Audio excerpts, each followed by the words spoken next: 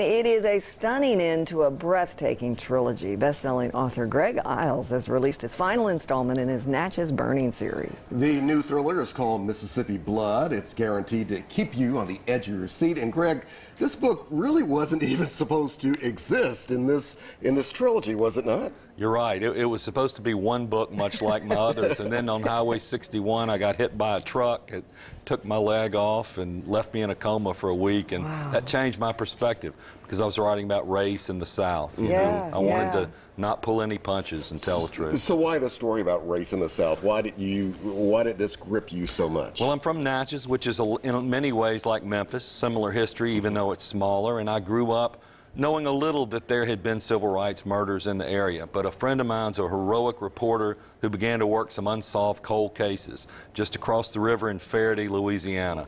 And they involved an ultra-violent splinter cell of the Klan, and nobody knew about this. And it was so important, I thought I wanted to use that as a backdrop for a novel. How did the accident make you realize that what you do is more important than just entertainment? Well, you hit it. Publishing's a business, and when you do a book a year and you're on the bestseller list, most of the pressure is to just repeat your success and keep the money coming in for the company. And to stretch that, uh, you know, the trilogy seems familiar because of teenage trilogies, but in adult publishing, that you don't do that, you know.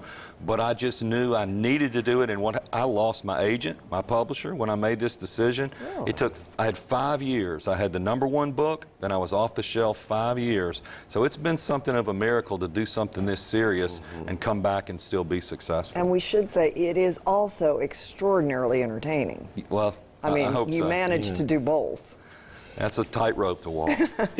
Was there ever, uh, Greg, any reluctance, though, in, in tackling a subject like this? Because it, you tackle, you know, again, the beauty of Mississippi and the ugliness Yeah. at the same time. if you're from Mississippi, Tennessee, Alabama, Georgia, Yeah. if you're going to tell the truth, you've got to engage with those things. What I think the events of the last few years have shown, and this is what I help, hope my books help with, is that race, racism is not confined to the South. That's not something that happens in Memphis or Right. Jackson or Selma.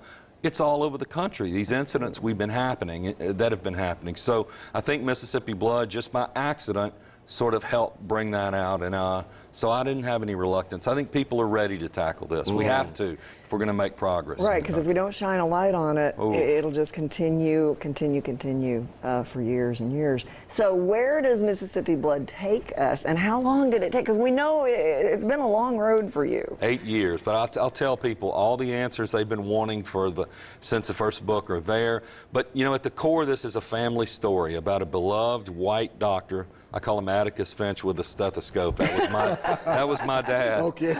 but the son, the mayor of Natchez, who was a prosecutor late in his life, when his father is accused of murdering his former black nurse from the mm-hmm. 60s, mm-hmm. he finds out his father may not have been the saint that he thought he was. He finds out he has a, ha- a half African American brother. I mean, it, it, this is the South in all its beauty That and really the warmth. South. We're into outside children and everything else. But that's the reality. Very quickly here, how do you come up with some of these ideas? Uh, Well, hey, all you have to do is live in Mississippi, Tennessee, or Alabama, and That you got says it all right there. And Greg. for the most part, have the people you grew up with said, We're so glad you did this, even though I'm sure you got some pushback? You get pushback. As a friend of mine from Natchez says, in Natchez, they'll forgive you for everything except going bankrupt. Ooh, okay. And, what you almost ne- did that. Almost did that. What comes next for you? My next book is set at Ole Miss in Oxford, believe it or not. It's going to be some fun and a little lighter, but it's still a murder and, uh, and uh, some blackmail. You so gotta have some it's blood juicy. in there. That's right. is You'll be gonna back to talk to us? I'll be that. back definitely on All right, that. Greg. All Thank right, you very much. Burke's Congratulations. Thank you, Bookstore. Alex. You've Thanks. got to dig into this trilogy. You've done it again. Fabulous. Thank you.